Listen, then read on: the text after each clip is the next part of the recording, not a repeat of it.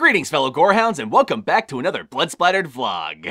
Alrighty then, this week's movie is a movie that crosses over two epic Japanese horror franchises that I honestly never thought were really gonna cross paths. And the movie I'm of course talking about is Sadako vs. Kayako, otherwise known as The Ring vs. The Grudge. And goddamn, I've been waiting for this movie since the late 90s, early 2000s. These are two franchises that just scared the shit out of me when I was a kid. And honestly, ever since I saw Freddy vs. Jason, they were two franchises that I thought like would be perfect if they meshed together. I say perfect, but you would have to find some sort of reason to actually justify them fighting each other, which this movie actually does, but um, let's just say it's a little stupid as shit. Did I just say a little stupid as shit? This movie is a lot stupid as shit, and I say that as someone who thoroughly enjoyed it. Which pretty much lets the cat out of the bag on how I feel about this movie. It is thoroughly stupid as all hell, but I actually enjoyed it despite all its problems. It takes a little too long to get to the point, there's a bunch of unnecessary plot threads, and it plays really fast and loose with the mythologies of both characters. Like, for example, for no goddamn reason whatsoever, the ring now takes two days instead of seven days in order to kill you. Which I guess was done for expediency's sake, but you probably could have made room for all seven days had you actually removed some of these pointless plot threads throughout the movie.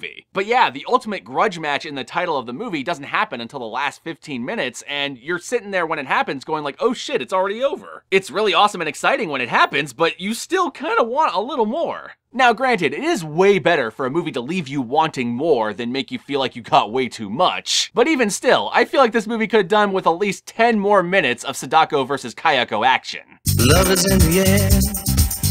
I mean, for fuck's sake, the viral marketing campaign leading up to this movie I felt like had way more Sadako versus Kayako action than the actual movie. And I am 100% including that baseball video in this equation. That video was fucking amazing. And that was definitely up there with the Freddy vs. Jason Muhammad Ali style boxing debate they did leading up to that movie. So an A plus for the marketing campaign of this movie, but about a C minus for the movie overall. And yes, I'm saying C minus as someone who still enjoyed the movie despite its flaws. I just don't understand why the first hour and a half of this movie had to serve as like a soft reboot for both franchises given that Sadako 3D was not that long ago. I'm pretty sure everyone not only in Japan, but also the world at large already knows what The Ring and The Grudge are at this point. But whatever, I guess they really needed to make sure that everyone knew who these two characters were before they fought, even though I'm pretty sure everyone already does. Or they just needed to pad out the running time because they didn't have much of a budget to actually film a very long fight. And I know some of you out there are going to be saying like, hey, it takes a while for Freddy vs. Jason to fight in their movie, and to that I would say I agree, but their fight is actually a little more satisfying than this fight. Freddy vs. Jason has a fight both in the dream world on Freddy's terms and one in the real world on Jason's terms. And both of those fights take about 10 to 20 minutes, so you get about a half hour to 40 minutes of Freddy vs. Jason battling each other in that movie. And in the build up to them fighting, it actually shows them face to face actually interacting with one another a couple times. For example, when Freddy disguises himself as Jason's mother at the beginning of the movie. Whereas in this movie, Sadako and Kayako are completely disconnected until the last 15 minutes. And you're just waiting the whole time to see them cross paths at least once before the final confrontation, and it never happens. That all being said, when they finally do confront one another, holy shit, that fight is stupid as hell and super fun. And the way the fight ultimately culminates, the actual conclusion of it, when someone finally wins the brawl?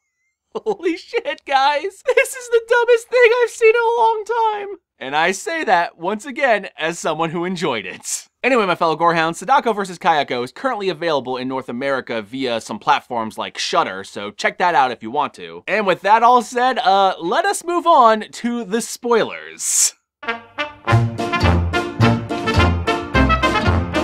Okay, so this movie has two parallel stories running concurrently. The first story is these two college girls who buy this VHS player in order to transfer this old wedding tape into a DVD, and within the old VHS player is the tape from The Ring which they end up watching and they end up getting cursed and they end up having to go to their teacher who is an expert on urban legends who ultimately tells them that they have two days to live instead of seven for some weird, strange, nonsensical reason and that if they want to live, they have to find some way to pass the curse on. And the second story involves this high school girl who moves in next to the grudge house and starts having reoccurring nightmares of kids being trapped inside the house. Because one day she was walking home from school and came across these kids that were daring each other to go inside the house, and then the next day the kids completely disappear, so she starts worrying that, oh shit, something inside the house got them. Which is another example of them playing really fast and loose with the mythology. Apparently in this movie, just walking into the house, the grudge ghost will just take you immediately. Basically, if the original grudge operated on this timeline, it would have been over in like the first 10 minutes. But whatever, I guess like the alien gestation period in Alien vs. Predator, they sped it up for no real reason because you still have to wait an hour and a half for things to happen. So glad we made those changes. So anyway, the two college girls who were cursed by the ring end up meeting with this old Shinto priest who performs an exorcism on the girls, but the exorcism goes horribly wrong in one of the best scenes of the movie, bar none, and Sadako totally just ends up murdering everyone involved with this exorcism except for the two girls. But it turns out, before the exorcism failed, the Shinto priest called this like rock star Shinto priest named Kaizo or something like that in order for him to come and seal the deal. And this guy is hands down my favorite character in the movie. He shows up with this little blind girl who can see ghosts,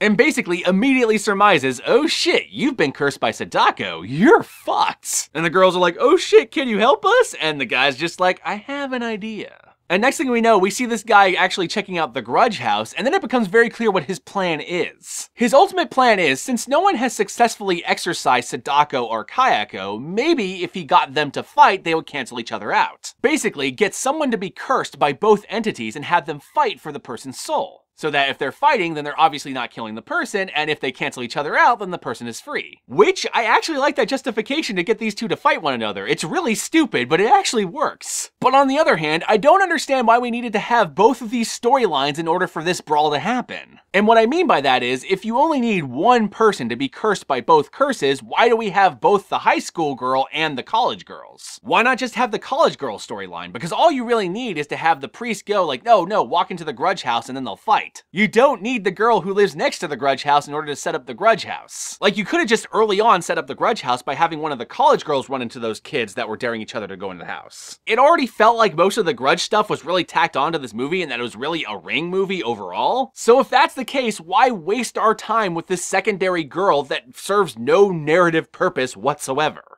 I just don't feel like this was the most efficient script this movie could have had. But anyway, the rockstar Shinto priest ends up getting the two girls to meet one another and they end up going inside the house and playing the tape. Sadako shows up and Kayako shows up. They have this really awesome brawl where they're like grabbing each other with each other's hair and like pulling each other into the darkness. But the priest quickly realizes, oh shit, it's not working. They're just getting more powerful. So they try to trap both ghosts inside this well in the backyard of the old grudge house, which I don't think that well was there in the original grudge movie. I'm pretty sure that was an addition for this movie. But what ends up happening happening is the two ghosts end up combining into one giant, just Lovecraftian monstrosity, before ultimately shrinking into a combination of Kayako and Sadako. So you got this really creepy combination of Sadako and Kayako's movements, as well as the and then the movie ends with them running at the screen like Which was stupid as hell, but you know what? At that point, I was actually on board with the movie. I don't know what it was. Having no actual winner and just having them combine into one giant monster at the end, that was kind of brilliant. Though I do wish instead of running at the screen, we actually got to see them kill our heroes, but eh, that's just a minor complaint. But what I really love is at the end of the movie, they end up replaying the tape from the ring. But instead of the old image of like Sadako climbing out of the well, it's now the Sadako Kayako hybrid. Which was fucking amazing. Just goddamn, I can't believe this movie ended ultimately with a Dragon Ball Z style fusion dance between Sadako and Kayako. That was just the stupidest and most amazing thing ever. Anyway, my fellow gorehounds, like I said earlier, I give this movie about a C minus. It's got a lot of problems, it takes way too long to get to the point. But when it finally gets there, those last 15 minutes are really fucking just, mm, just fucking awesome. And with that all said, my fellow gorehounds, as per usual, like, comment, subscribe, and be sure to ring that notification bell so that you're notified right away when my videos go up. And as always, my fellow gorehounds, peace out, and I'll catch y'all later.